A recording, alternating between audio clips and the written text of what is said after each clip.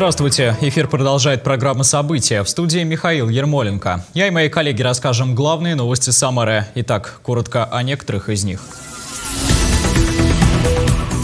9 декабря в России отмечают День Героев Отечества. В честь этой даты губернатор Дмитрий Азаров и глава Самары Елена Лапушкина возложили цветы к вечному огню. Не соблюдают дистанцию, не пропускают пешеходов. В результате авария. Инспекторы ГИБДД проверили работу пассажирских маршруток и автобусов. Сменить сферу деятельности и получить новую профессию. Как в Самаре работает федеральный проект содействия занятости. Теплый подарок для участников специальной военной операции. Студенты одного из самарских колледжей своими руками изготовили печи для бойцов. Что такое патриотизм? В Самарской школе номер три прошел урок мужества. Отдать дань уважения всем, кто достоин самых почетных государственных наград. В России отмечают День Героев Отечества. Дату учредили в 1769 году указом императрицы Екатерины II. Воинам, проявившим особую отвагу в боях, вручали орден Святого Георгия. Идею о возрождении праздника в России выдвинули в 2007 году. С тех пор ежегодно в начале декабря в нашей стране отмечают памятную дату. Торжественная церемония возложения цветов состоялась и в Самаре на площади Славы. В ней приняли участие губернатор Дмитрий Азаров, глава города Елена Лапушкина, представители общественных и ветеранских организаций, а также юноармейцы. Дань высокого уважения к тем, кто удостоен самых почетных государственных наград – звания Героев Советского Союза, Российской Федерации, Ордена Святого Георгия и Ордена Славы. В горельефы скорбящей матери Родины все, кому не безразличны прошлое, настоящее и будущее нашей страны. Алые гвоздики и розы к вечному огню возлагает губернатор Самарской области Дмитрий Азаров, глава города Елена Лапушкина, представители общественных, ветеранских организаций, юноармейцы и военнослужащие. В торжественной церемонии принимает участие с гордостью, делится младший лейтенант Андрей Сидоров. Ведь настоящим героем Отечества может стать каждый из нас нас. Я служил в армии, бывали простые люди, но неожиданно проявляли себя с такой стороны, которые физически, может быть, морально подготовленные люди э, могли спасовать в данной ситуации, а они проявляли себя как герои. Поэтому героем может оказаться любой среди нас. Памятная дата была учреждена в 1769 году указом императрицы Екатерины II. Воинам, проявившим особую отвагу в боях, вручали орден Святого Георгия. Награда имела четыре степени отличия, первая из которых считалась наивысшей. Первым орденоносцем стала сама Екатерина II, а кавалерами ордена более 10 тысяч человек, 25 из которых получили высшую степень награды. Идею о возрождении праздника в России выдвинули в 2007 году. С тех пор ежегодно в начале декабря в нашей стране отмечают памятную дату. Авторы законопроекта выразили надежду, что это будет способствовать формированию в обществе идеалов самоотверженного и бескорыстного служения Отечеству, которые нынешние бойцы готовы защищать в любую минуту, день и час. Конечно, пойду воевать. У меня дед воевал Великую Отечественную войну, у меня брат Вторую Чеченскую воевал.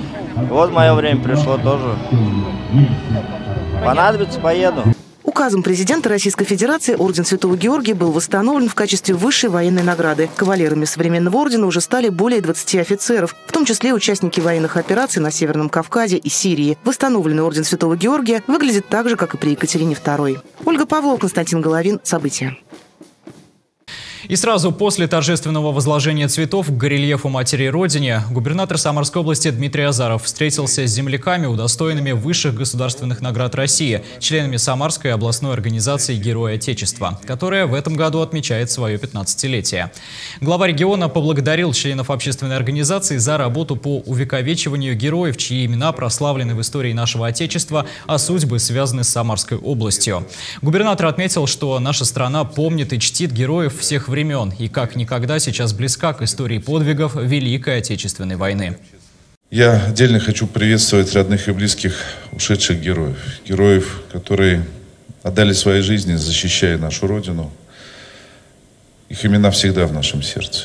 И я, конечно, искренне рад, что сегодня вы с нами. Я уверен, что мы сделаем вместе с вами, вместе с региональным отделением, все для того, чтобы Имена героев на Самарской земле никогда не были забыты. В Самаре продолжается строительство станции метро «Театральная». Рабочие заканчивают переносить инженерные коммуникации. Также в историческом центре подходит к концу разработка стартового котлована, а в его основании уже занимаются подготовительным бетонированием. Этот вид работ стартовал со стороны улицы Вилоновской. Напомню, также в начале этой недели открыли движение в районе улиц Полевой и Новосадовой. Теперь водители, которые едут в сторону старого центра, смогут уйти с Новосадовой на Полевую и далее двигаться по намеченному пути. Все процессы, связанные с возведением станции «Театральная», находятся на непрерывном контроле регионального заказчика, подрядчика и мэрии Самары. В числе приоритетных задач – минимизация временных неудобств для жителей. Станция «Театральная» свяжет удаленные районы Самары, в том числе Безымянку и Юнгородок, с исторической частью города. Весь путь в подземке будет занимать 20-25 минут, а поезда будут ходить каждые 7-8 минут. Станция «Театральная» – это самый центр города – там и театры, и офисные здания, и здания администраций. А, то есть очень много людей ежедневно ездит туда по, по пробкам, по загруженным улицам, а, тратится на это большое количество времени, выхлопные газы и так далее. Поэтому метро – это комфортный способ добраться из густонаселенных районов Самары до центра на работу по делам можно погулять. Метро очень сильно разгрузит э, город, и вот эти поперечные улицы Московского шоссе, Новосадова, Гагарина, они все-таки станут менее загруженными. Э, зимой тепло, летом прохладно, прекрасный вид транспорта. В утренние часы на въезде в областную столицу инспекторы ГИБДД проверяли пассажирские маршрутки и автобусы. За несколько часов рейда полицейские осмотрели более 60 транспортных средств, составили 17 административных материалов на водителей-нарушителей. Подробности далее. В Красноглинском районе Самары сотрудники госавтоинспекции вместе с отделом технического надзора провели очередной профилактический рейд. По статистике, основными причинами совершения ДТП являются грубые нарушения правил дорожного движения водителями автобусов. Скорость движения не соответствует погодным условиям. Водители нарушают правила перестроения, не соблюдают дистанцию, не пропускают пешеходов. Первый взмах жезла и сотрудник ГИБДД останавливают школьный автобус. Проверяет, все ли документы в порядке, пройден ли медицинский осмотр осмотр. Олег Валентинович, водитель со стажем, за техническим состоянием своего автобуса всегда следит, документация в порядке. Говорит, а как же иначе, если на кону жизнь и здоровье детей? Посматриваю, чтобы все были пристегнуты, салон, у каждого школьника свое место, что у него ремни безопасности отрегулированы по отказу школьников. Ну а за остальным, за поведением детей уже смотрит сопровождение, сопровождающий. В первую очередь сотрудники ГИБДД обращают внимание на соблюдение скоростного режима, правильность проезда перекрестков, пешеходных переходов, наличие у водителей соответствующей категории, особый контроль за техническим состоянием автобусов, соблюдение перевозчиками режима рабочего времени и времени отдыха водителей. Если э, у водителя должен стоять тахограф, то мы, соответственно, проверяем карту водителя для тахографа, поверку водителя, э, поверку на автобус сам э, для тахографа и распечатку его режим труда и отдыха. Соответственно, если выявляются какие-либо нарушения по данным фактам, это фиксируется и впоследствии составляется и привлекается либо должностное или юридическое лицо организации, допустившее какие-либо, как я сказал ранее, административные правонарушения. В этом году в Самаре по вине водителей автобусов произошло 23 дорожно-транспортных происшествия, в которых 41 человек получил травмы, погибших нет. Чтобы не допускать подобных трагедий на дорогах, ГИБДД регулярно проводит рейды и проверяет водителей и транспорт. Госавтоинспекции э, за 11 месяцев удалось стабилизировать аварийность на пассажирском транспорте. Но, несмотря на это, сотрудники госавтоинспекции в рамках 248 федерального закона, это о государственном муниципальном контроле, проводятся как и постоянные рейды, так и профилактические визиты с руководителем и водительским составом э, организаций, которые осуществляют пассажирские перевозки. За несколько часов рейда полицейские проверили более 60 автобусов, составили 8 административных материалов в отношении водителей-нарушителей. Светлана Тимофеева, Елена Чернявская, Николай Сидоров. События. Студенты Самарского колледжа изготовили железные мини-печи для участников специальной военной операции. Это уже вторая партия. О том, как преподавателям и учащимся пришла идея помочь, расскажет Елена Чернявская. В мастерской Самарского колледжа сервиса производственного оборудования жарко. Студенты делают печки, которые отправятся в зону специальной военной операции, чтобы бойцы могли согреться и приготовить горячую пищу. По словам руководителя учебного заведения, важно не только то, что молодежь способна работать руками, но и моральная поддержка, которую они оказывают, заботясь о бойцах. Мы передаем вторую партию в общем количестве 16 штук. Обещаем до Нового года сделать около 50 печек. Мне как руководителю важно, потому что защищают те ребята на передовой, это в том числе и наши выпускники, граждане нашей Российской Федерации, граждане нашей Самарской области. Поэтому я считаю, что я должен быть в тех же рядах. Студент третьего курса Антон Хурасеев рассказывает. С виду маленькая печь очень функциональна, дыма от нее немного, при этом ее легко можно переносить с места на место. На производство одной такой печи уходит до трех часов. Идея изготовления таких печей пришла в голову студентам. Они поделились мыслями с руководителем, тот их поддержал. А теперь колледж получил заказ на их изготовление. А, тут у нас есть а, специальное отверстие для того, чтобы подогревать воду, там, например, в кастрюле или в чайнике. Также э, мы при, э, придумали специальное приспособление для сушки белья. Э, вот сюда вот вставляется. И сюда можно вешать белье. Также мы сделали бак для нагрева воды. То же самое от нагрева самой печки у нас тепло передается по таким вот уголкам, и э, вот в такой емкости у нас нагревается вода. На Донбасс печи доставят волонтеры и бойцы. Говорят, подарки прибудут как раз к Новому году. Конечно, нужно. Это первое дело тепло, да и последующее это то, что понимаешь, что это из дома, по сути. Приятно очень.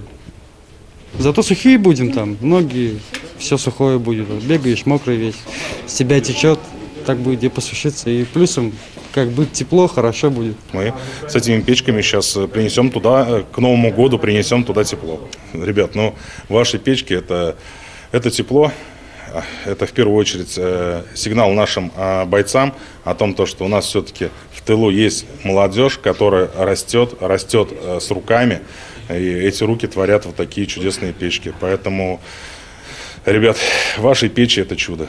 16 печей уже переданы волонтерам, которые их доставят до места назначения. Елена Чернявская, Григорий Плешаков. События. В самарских школах и лицеях началась серия уроков мужества и уроков безопасности. Проходят они в рамках проекта «Безопасность шаг за шагом». С детьми и подростками встречаются представители силовых структур. Сегодня ветераны органов внутренних дел, пожарные и сотрудники госавтоинспекции общались с учениками Самарской школы номер 3 имени Вадима Фадеева. Уроки мужества в Самарской школе номер три начались с вопроса, что такое патриотизм. Беседы с подростками провели члены Совета ветеранов внутренних дел и внутренних войск Самарской области. Стараемся им довести те факты истории нашего государства, а, мужество людей при этих событиях, которые показывают, что Россия – это та страна, которая никогда не сдавалась и сдаваться не будет. И основное – это вселить уверенность в нашу молодежь в то, что Э, будущее, так сказать, нашей страны.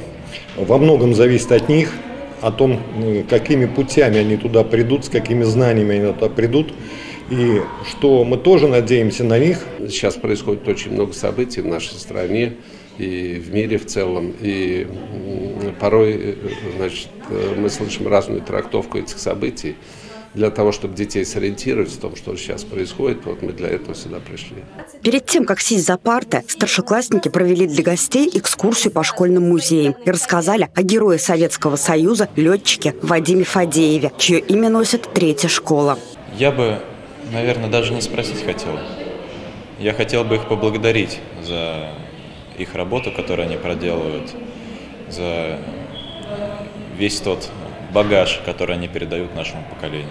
Для меня важны данные встречи тем, то, что можно пообщаться поближе с каждым представителем силовых структур, подробнее узнать о проделанной работе в нашем регионе, о том, какие меры предпринимаются для нашей безопасности. В других классах школы уроки безопасности сегодня провели сотрудники пожарной охраны и госавтоинспекции. Подобные встречи состоятся и в других учебных заведениях Самары. Они проходят в рамках проекта «Безопасность шаг за шагом». Светлана Тимофеева, Николай Сидоров. События. Воспитывать детей и при этом быть востребованным на рынке труда. Такая возможность появилась благодаря реализации в регионе федерального проекта содействия занятости. Программа позволяет бесплатно повысить квалификацию отдельным категориям граждан.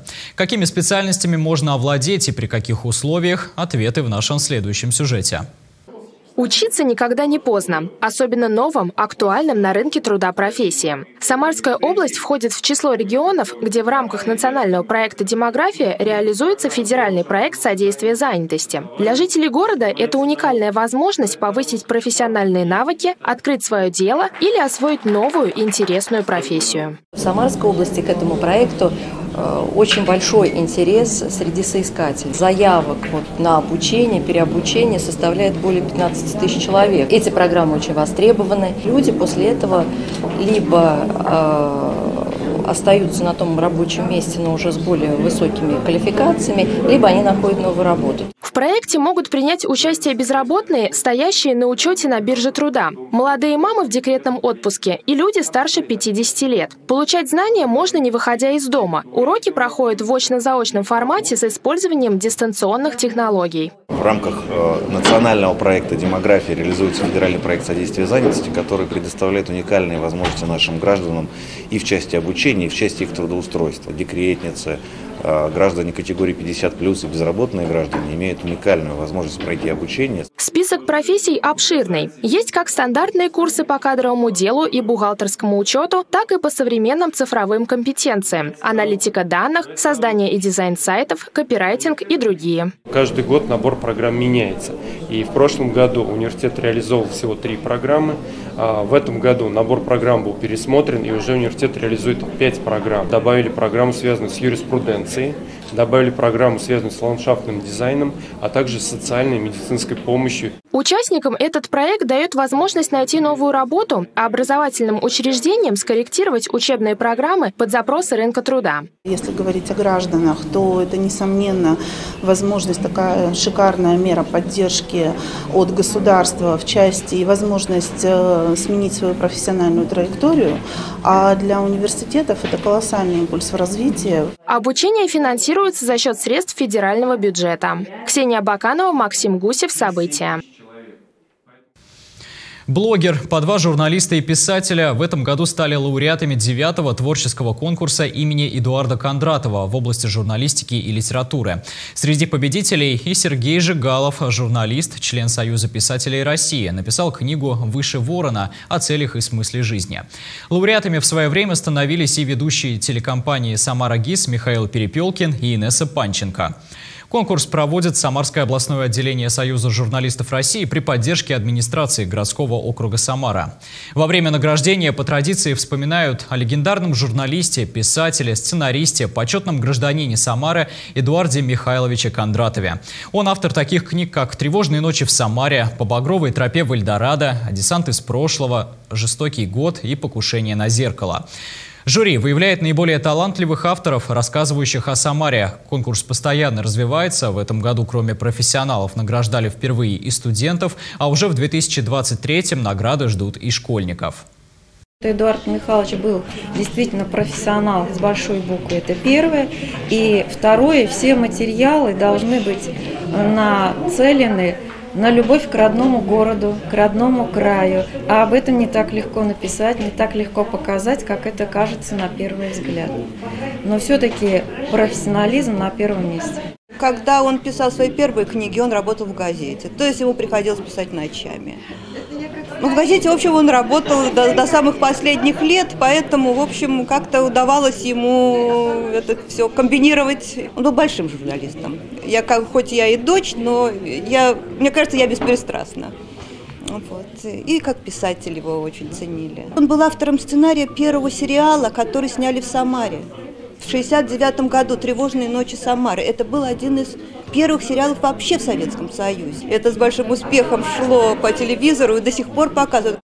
Хоккейный клуб «Лада» обыграл «Нефтяник» и расторг контракты с вратарем Ильей Попенковым и нападающим Максимом Елькиным. В среду «Ладья» встречалась с «Реактором» командой из Нижнекамска. А в Новокуйбышевске прошли соревнования на Кубок области по мини-хоккею. Обо всем подробнее в нашей рубрике «Новости спорта». В среду 7 декабря «Ладья» встречалась в Нижнекамске с местным реактором. К 15-й минуте хозяева забросили три шайбы и повели 3-0. До перерыва Александр Бажухин отыграл одну шайбу. Во втором периоде Богдан Чумаков сократил счет до минимума. Во втором периоде Богдан Чумаков сократил счет до минимума, но хозяева вновь увеличили счет 4-2. В концовке третьего периода Данила Гроза и Глеб Лачинов сравняли счет 4-4. В овертайме победу тольяттинцам принес Остап Маслов.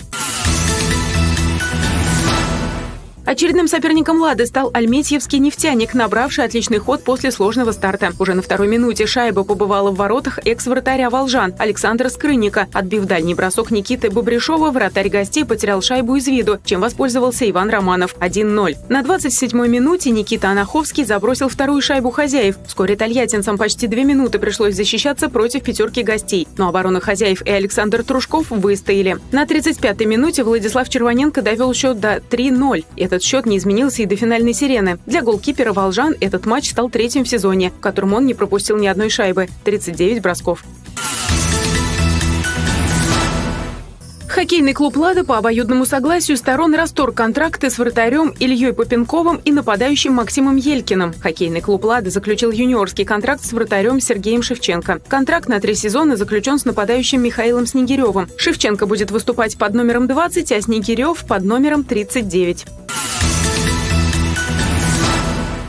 В Ледовом дворце Роснефти-арена прошли соревнования на Кубок области по мини-хоккею. За победу в Кубке боролись четыре команды – Новокуйбышевский «Нефтяник», Самарский «Бенди-клуб», Чапаевский «Луч» и Тольяттинский «Азот». Игроки этих команд уже встречались в Новокуйбышевске 24 октября. В этот день прошел первый областной турнир по хоккею с мячом сезона 22-23. Участие в нем могли принимать игроки старше 45 лет. Сильнейшей командой оказался Тольяттинский «Азот», который на турнире победил всех соперников. Самару со счетом 8-1, Чапаевск 7-4, Новокуйбышевск со счетом 6-3. Но на этот раз новокуйбышевцы не дали соперникам шансов на победу. И хотя игра с тольяттинцами закончилась ничьей со счетом 6-6, в остальных встречах нефтяник лидировал. Второе место у «Азота», третье у самарского «Бенди-клуба». Лучшим вратарем соревнований стал Дмитрий Шкварковский, а лучшим защитником – Клим Черкасов из новокуйбышевского «Нефтяника». Далее эфир продолжит обзор телеграм-каналов городской администрации и профильных ведомств. А вот о чем они писали сегодня на своих информационных площадках. Администрация промышленного района Самары в своем телеграм-канале напоминает самарцам о необходимости заплатить налоги. Это нужно было сделать до 1 декабря. Теперь за каждый календарный день просрочки начисляются пени в размере 1 трехсотой ставки рефинансирования Центрального банка Российской Федерации. Основанием для уплаты налога служит налоговое уведомление. Если вы его не получили, вам необходимо обратиться в налоговую по месту жительства. Оплатить налоги можно в любом отделении банка или через личный кабинет налогоплательщика для физических лиц.